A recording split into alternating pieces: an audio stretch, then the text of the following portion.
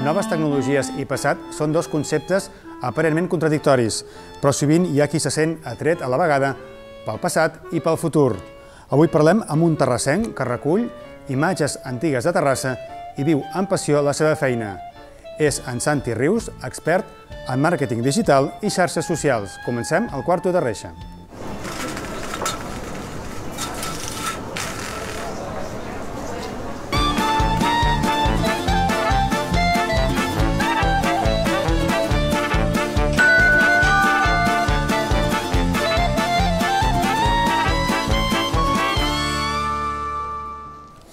Hola Santi, què tal, com estem? Hola, bona nit. Benvingut a Canal Terrassa, una casa que no tens gens desconeguda. No. Sempre, sempre és agradable poder parlar amb tu. Uh, tenim 25 minuts, com sempre, però no sé com ens en sortirem, perquè volíem parlar de màrqueting digital i també dels records de Terrassa, el bloc que, que tu portes. Ens has portat una sèrie de, de documents antics que, que no tindrem temps de fer-ho tot, però bueno, intentarem. Centrem-nos, comencem, si vols, pel, pel tema professional, per la teva part mm -hmm. professional, expert en màrqueting digital i, i xarxes socials, Correcte. ets fundador de l'empresa Creat 360 uh -huh. i mhm. consultor assessor de la Secot i d'Acció 10 també. Uh -huh. uh, per començar, les empreses fan, fan un bon ús del, de les xarxes socials? És un concepte que es té plenament assumit?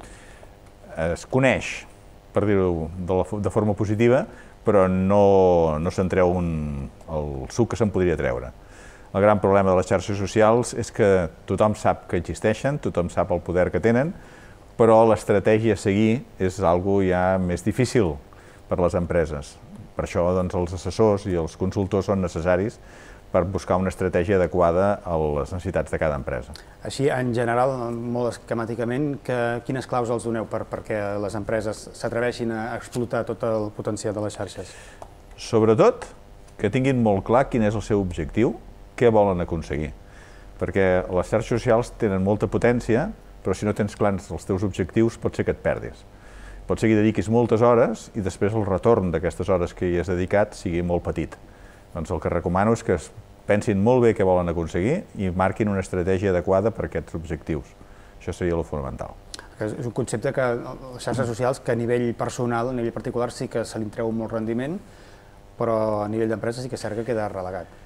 I en canvi no hauria de ser així, perquè les, clar, les xarxes socials és on hi ha els usuaris, i si les empreses el que volen és adreçar un missatge del seu producte o del seu servei als usuaris, haurien de conèixer molt bé aquests mitjans. I eh, moltes empreses pràcticament coneixen les xarxes socials més, més estàndards, i en canvi n'hi ha moltes que els podrien oferir grans eh, possibilitats i no les estan fent servir. Twitter, per exemple, és una xarxa social que a nivell d'usuari és conegut i les empreses en treuen molt poc, eh, molt poc suc, Instagram és una altra xarxa social fantàstica per vendre, per exemple, el producte i que les empreses utilitzen poc. N'hi ha moltes. Snapchat, per exemple, que és una xarxa social molt de joves, aquí les empreses hi tenen poca, molt poca activitat. No? Vull dir que realment hi ha moltes xarxes socials que tenen un gran interès pels usuaris i en canvi les empreses doncs, en fan un ús molt mins. I tenen el mateix uh, ús, les xarxes socials? És a dir, depèn de què volem dir, hem d'anar via Twitter, depèn de què volem fer, hem d'anar via Facebook o aboquem tot el que tinguem a les no, xarxes, no. que és el que fan algunes empreses que ja s'han anat posant? No, no. Cada xarxa social té la seva manera de dir les coses, té d'alguna manera el seu llenguatge i doncs l'hem d'aprendre. Hem de saber què hem de dir i com ho hem de dir en cada lloc. Hi ha xarxes socials eminentment gràfiques, per exemple, que si el teu producte o el teu servei no és gràfic no hi té, no hi té lloc. Pinterest és una xarxa social, o Instagram, com he dit abans, són eh, xarxes socials on la part gràfica, on la part visual, té molt poder. Llavors, si no treballem bé la imatge que volem transmetre, doncs no tindrà, no tindrà repercussió, no tindrà seguiment. Ah, Parla'ns de Creat 360, que és l'empresa que tu, que tu vas fundar. Uh, una de les seves missions és incentivar el talent, la creativitat i la innovació empresarial. Explica una mica què feu, quina, quina activitat tenim. Bé, eh, de fet, eh, l'activitat es basa molt en el món de la creativitat. El talent és un dels elements que tots tenim i que moltes vegades hi ha talents ocults que ens costa treure. Incentivar el talent de les persones en una empresa és aprendre d'aquella persona que està en una empresa què més ens pot oferir, què més pot aportar. Doncs treure aquests talents de les persones moltes vegades fa que el rendiment a l'empresa o el que pot aportar a l'empresa sigui molt més gran. A la part de la creativitat és quelcom que tots podem mm, fer créixer. Algú ha dit que quan naixem tenim una creativitat al 100% i que a poc a poc, l'anem perdent. Nosaltres el que intentem és que aquesta creativitat que anem perdent al llarg de la vida la recuperem. La creativitat es pot recuperar amb exercicis, amb mètode, i podem ser creatius amb el que fem el dia a dia. Llavors el que volem és això, no? doncs experimentar i fer que la gent entengui que aquesta creativitat la pot recuperar. Una de les, eh, de les coses que feu, i de fet des de Canal Terrassa hem pogut venir algunes, és les sessions Compartim, que n'heu fet, fet a Terrassa i n'heu fet a, arreu de Catalunya, que és una mica trobada de, d'empresaris de sectors que potser no tenen absolutament res a veure i allò, abocar idees, no? cadascú explica les seves experiències. Explica una mica una, com, com, com funciona això, com poseu en contacte aquest tipus de, de gent. Correcte. A veure, el Compartim és una idea que va sorgir a la CECOT, precisament com un repte, i com un repte creatiu. Eh, fins ara, fins fa molt poc, les eh, trobades d'empresaris es basaven en accions de networking que se'n diuen a l'americana, on molta gent es troba i en pocs eh, minuts té que explicar el que fa i escoltar l'altre que li pot vendre. Què passa amb això? Doncs que s'estableixen pocs lligams amb la persona. És un lligam fred. És un, un lligam... intercanvi de targetes, més que res. Exacte, pràcticament és això. Llavors no hi ha un, un, un, un, realment un acostament bo amb aquella persona. Nosaltres el que vam pensar és que nosaltres som un país mediterrani, que som una cultura diferent i que necessitem conèixer més a la persona per obrir-nos, per explicar el que podem fer, per arribar a col·laborar. I ens vam inventar el que en diem el networking a la catalana, aquest compartim. De fet, eh, fa gràcia el nom de networking a la catalana, però hem de dir que no només ha tingut èxit i l'està tenint arreu de Catalunya, sinó que ara, i aquesta setmana justament, eh, la Diputació de Barcelona l'ha agafat com un curs a donar als ajuntaments i a entitats d'emprenedors perquè aquest proper curs del 2016 el puguin demanar i el puguin, el puguin realitzar allà on vulguin.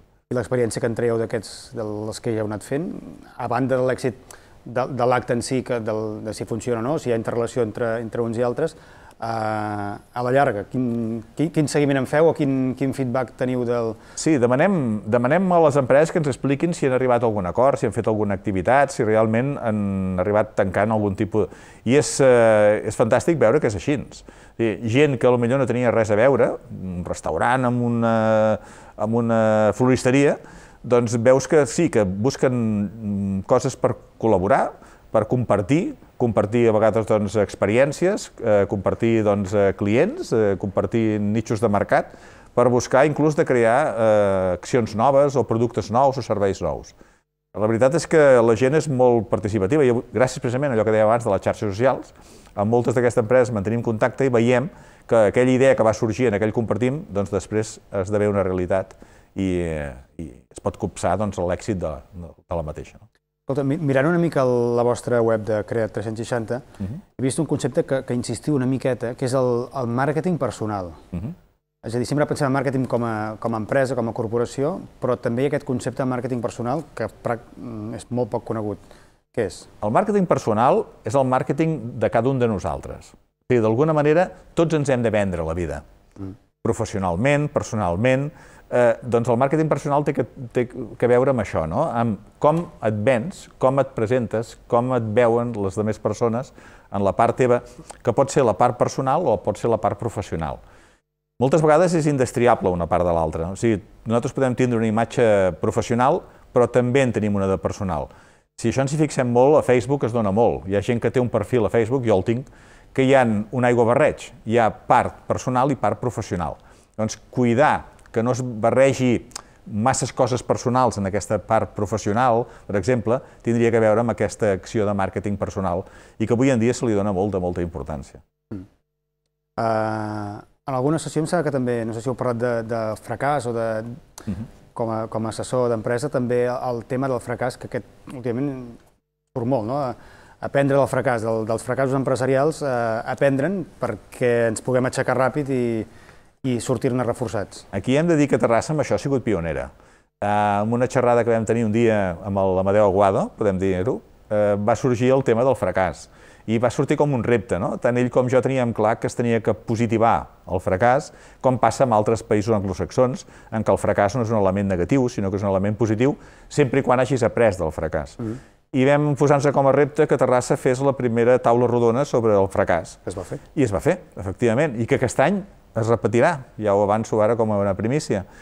I la idea és això, no? És la idea és assentar-se al costat d'una taula i parlar del fracàs com una cosa positiva, no com una cosa negativa, que podem aprendre dels fracassos, que és una cosa que ens, ens ajuda a créixer. Sembla que es va posar fins i tot un marxa al banc dels fracassos, oi? Que tothom justament, pogués abocar allà que li havia passat.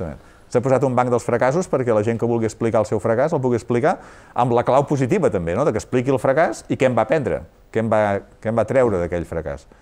I recordo que en aquest cas doncs, el Ramon Comelles, per exemple, que va ser un dels primers que va posar el seu fracàs. Està aquí fa poc. Va estar, sí, sí, ho, ho sé perquè us segueixo molt el programa.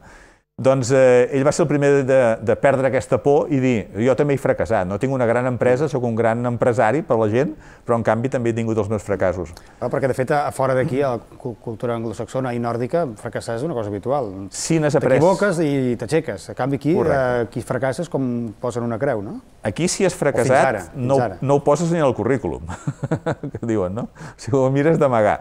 I jo penso que és el contrari. Tu si has fracassat, doncs no has deixat de tindre una experiència, i aquesta experiència és positiva si has sigut emprenedor, per exemple, i has seguit emprenent. Tu pots haver fet una empresa i haver sortit malament per mil coses que t'han passat. Doncs què passa? Aquesta experiència doncs, t'ha servit a lo millor per tirar endavant un altre projecte o no fer l'error que vas cometre en la primera acció. Uh, escolta, Santi, fora estrictament de l'àmbit uh, professional, deixa'm preguntar-te, networking, briefing, crowdfunding, coffee break, brainstorming, online, social media, abans a mi m'ha sortit un feedback, uh, avui és el Blue Monday, uh, tot aquest uh, llenguatge, quan hi ha paraules en català que expressen, per exemple, social media, xarxes socials, uh mhm. -huh. hi ha paraules en català plenament normalitzats que, que descriuen el concepte, però es continua parlant amb aquests termes anglosaxons que per segons qui a vegades sembla una mica, no sé si pedant, però segons amb qui parles no queda massa bé. Amb, amb això, què, què en penses? Tu ets partidari de fer servir aquests termes anglosaxons o d'intentar normalitzar-los? Jo crec que s'haurien de normalitzar. El que passa és que és pràcticament impossible, eh, sobretot amb les noves generacions, que ja d'alguna manera han nascut i viuen amb aquestes paraules. Eh, sí que és important quan vas a una empresa i et trobes amb un director d'empresa o amb un director de personal o amb un director de màrqueting, entre cometes, si, si em permets que no, sigui, que no es malinterpreti de la vella escola, uh mhm. -huh. utilitzar segons quines paraules pot crear barreres. I això jo intento, quan eh, parlo de tecnologia, de parlar del més planer possible, parlar el llenguatge d'empresa, parlar del que entén l'empresa i aquestes paraules guardant-se-les, en aquest cas, doncs més per quan fas una conferència, quan vas a una escola, que els nanos estan més acostumats a utilitzar aquesta jerga, si podríem dir d'alguna manera, no? aquestes paraules eh, anglosaxones. Mm, hi ha alguna, coffee break, sempre m'ha fet gràcia quan és una, sí, sí, una pausa, sí, sí. no? Però coffee sí, exacte. break. Sí. Uh, escolta, Santi, com que estem més o menys a, a mig programa sí. i ens has portat coses, també tenim algun, algunes imatges preparades, que et sembla si canviem una mica de terç?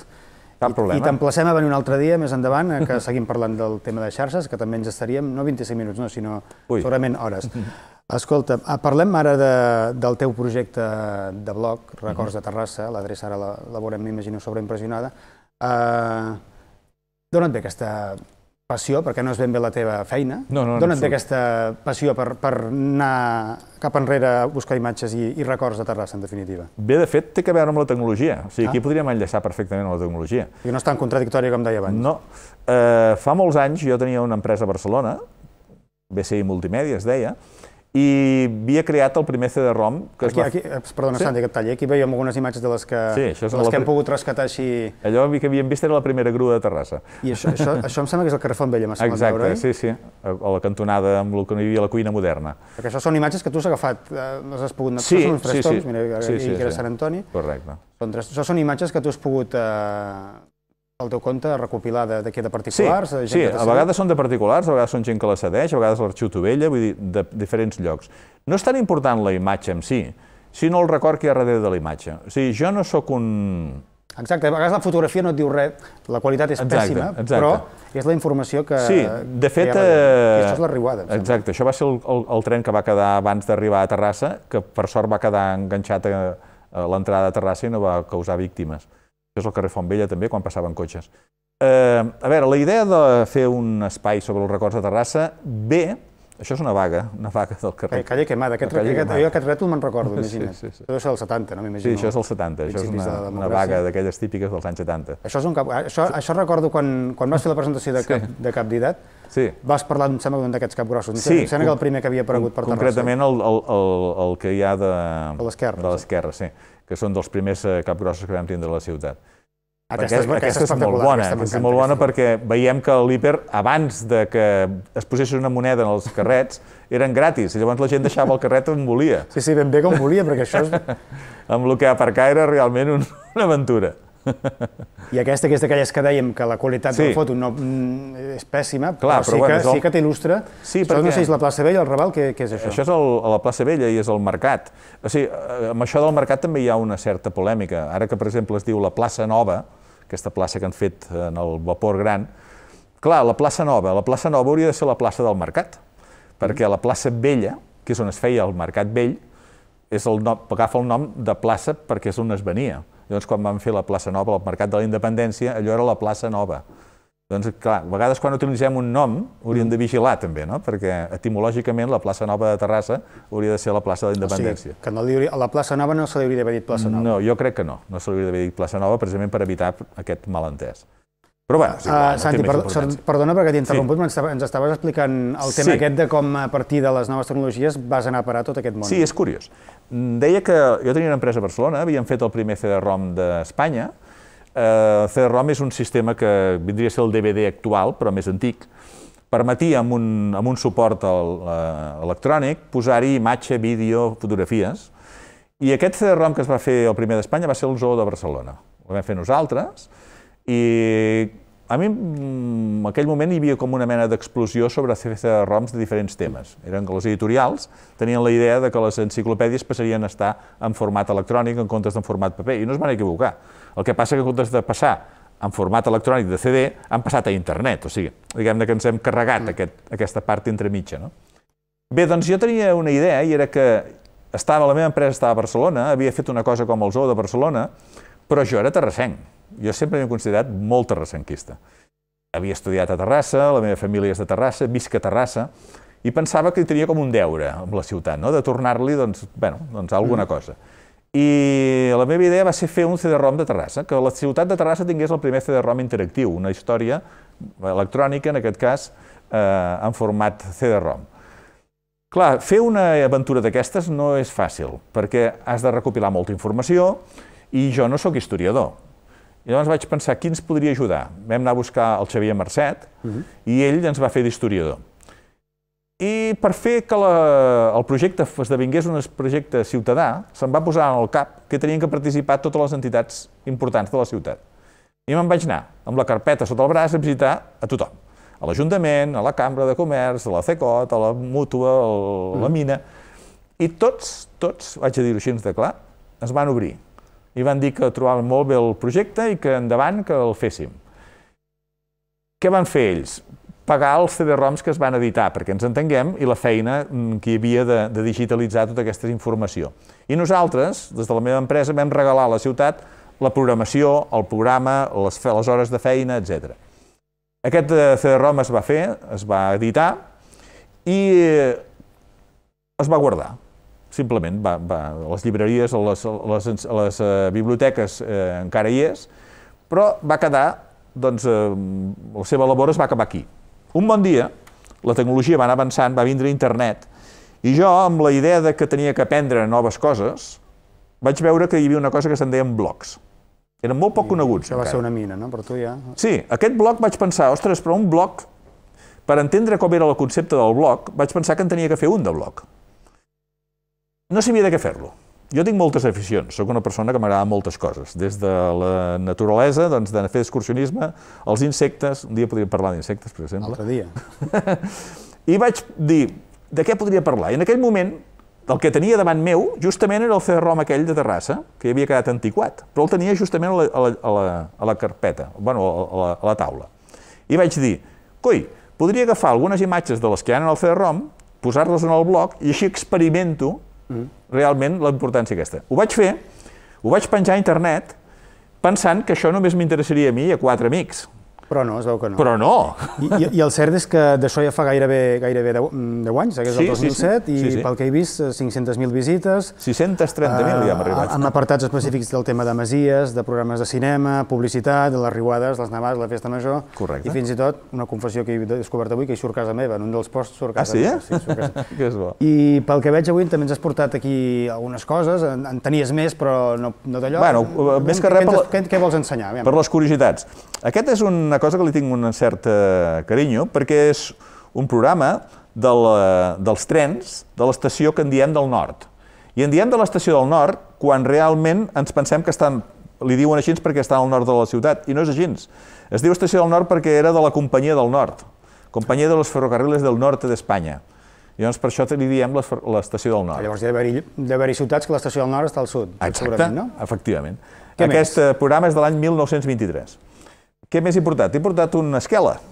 No és massa bonic, però és una esquela curiosa perquè és la de l'Alfons Sala i Argemí, el conde de Gara. Llavors, bueno, també fa gràcia perquè és l'any 1945 i s'ha conservat aquesta esquela amb el eh, Cris Jacent de la, de la parròquia de, del Sant Esperit.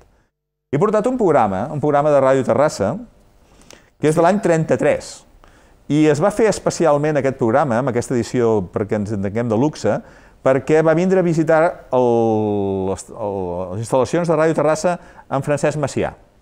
President. Eh? El president. Llavors aquí hi ha la fotografia del dia que va venir a Terrassa de fer aquesta visita.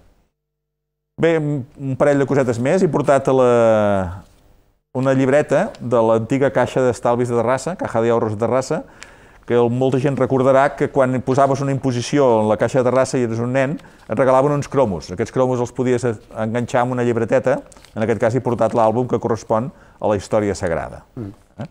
I l'últim que he portat és perquè, com que s'acosta el Carnestoltes, he portat un programa d'aquests que s'editaven dels diferents balls, que se'n feien diversos de balls a la ciutat, de l'any 1926, amb el programa de balls del Carnestoltes de, i curiosament avui el, el nostre company Albert Roma ens ha portat aquí un, la guia urbana de Terrassa del 34 i tu també tens per allà les sí. ordenances fiscals del 17, no? Sí, que això és més espès, perquè les ordenances fiscals ja llegir-se... Sí, però si te la fulleges hi ha algunes coses curioses, eh? Perquè sí, clar, estem parlant sí, sí. de fa gairebé, gairebé 100 anys. Clar, i fan, i fan referència a coses que potser no tenen sentit avui en dia, com pot ser el tema dels vigilants o qualsevol element d'aquests que ja han passat a la història, no? Uh, Santi, mentre recuperem algunes imatges més del, del teu blog, uh -huh. uh, deixa'm que et pregunti, els, els arxius familiars, uh, que això em sembla que fins i tot hi ha hagut alguna mica de polèmica al blog però sobre, sobre de qui era la propietat, aquí tenim, em sembla que això és del Corpus del 40, em sembla que és un vídeo sí, que tens, que tens és un vídeo del Font, en aquest cas, d'un cineasta terrassenc famós, on es veuen els diferents uh, actes d'un corpus, no?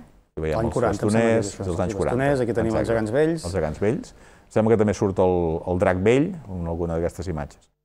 Exacte, aquest és el drac vell. Uh, això que et deia, el, el, el tema dels arxius familiars, les fotografies familiars, uh, clar, això és de les famílies, propietat privada. Correcte. Uh, Bé, jo... Hauria de passar a domini públic a segons quines coses? A veure, jo sóc molt curiós amb això. Uh, D'entrada sempre li dic a la gent de que el que hi ha en el, el records de Terrassa no és meu, és de la gent. Jo l'únic que faig és de transcriptor. El que m'explica un record el poso. El que em deixa una fotografia la, la, la mostro. Però jo no vull ni una fotografia ni vull guardar res de ningú. Eh, penso que les coses on han d'estar són els arxius. Aquí a Terrassa, per sort, tenim grans arxius i llocs on poder dipositar aquestes coses perquè quedin preservades. Jo demano a la gent que si té coses que, que val la pena conservar-les, les aporti als arxius els arxius personals, ja hi ha gent que també té arxius personals. Jo no sóc eh, col·leccionista. Tinc quatre coses, com has pogut veure aquí, però no amb l'afany de col·leccionar, sinó perquè m'han fet gràcia o perquè he considerat que eren curioses. Aquí ara estan veient dels programes, programes, de... programes i fins i tot mm -hmm. hem vist primer la, una d'aquelles cavalcades que es feia per festa major, hem vist Correcte. el programa del 50 amb els, amb els gegants nous. Uh, Santi, com que ens queda poc temps, uh, deixa'm preguntar-te també per, per un altre projecte que, que em sembla que és l'Europrix, que has engegat tu, no sé si amb algú més, és el, el tema de l'arbre de la vida, que un, com, hem assistit com a Canal Terrassa a alguna de les presentacions, mm -hmm. Ara, comentava just abans de començar, que li esteu donant com, com, un, com una mena d'impuls. Què és l'arbre de la vida? L'arbre de la vida surt de la idea de que les persones tots tenim dret a que els nostres records quedin preservats. A Terrassa tenim la possibilitat de que el nostre record figuri en els records de Terrassa, però si algú d'alguna altra ciutat, o fins i tot de la ciutat, no vol posar en els records de Terrassa i el volgués tindre en un espai personal, hi hauria de tindre aquest dret. I el, llibre, el llibre de la vida el que pretén és treballar perquè aquest dret eh, sigui un dret reconegut de forma universal. Aquest projecte té diverses eh, activitats. Eh? Una d'elles ha sigut, per exemple, endegar unes eh, trobades a les escoles perquè els nens s'acostumin a preguntar als pares i als avis doncs, coses que tenen a veure amb els seus records i d'alguna manera eh, potenciar el que en la família es parli, es parli dels records, es valorin els records, què va fer el pare, de què va estudiar, quina, eh, quina feina va fer, el, com era la feina de l'avi, que l'expliqui. O sigui, que els nens li donguin aquesta importància al que va passar amb els seus avantpassats i amb els que encara estan vius. No? Santi, hem d'acabar. Doncs res. Només un apunt. Uh, abans ho passat molta de raspallada. Uh, candidat, candidat 2015, com va ser el moment? Així molt ràpid. Tot un honor per, per em, va fer, em va fer gràcia, la veritat, les coses com siguin, perquè no m'ho hagués pensat mai ser candidat. Però com que és una cosa molt terrassenca i doncs, no hi pots fer-hi res, doncs em vaig agafar-ho amb tot el somriure possible. Molt bé, doncs Santi, eh, hem parlat, però encara haguéssim volgut parlar més i ja, ja algun altre cop ja, ja ens retrobarem.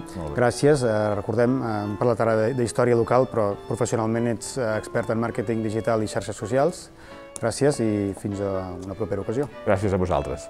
Molt bé, doncs a tots vosaltres ens retrobem la setmana que ve a Nit del Quarto Terreixa amb una nova entrevista a un terrassenc o terrassenc. Adéu-siau, vagi bé.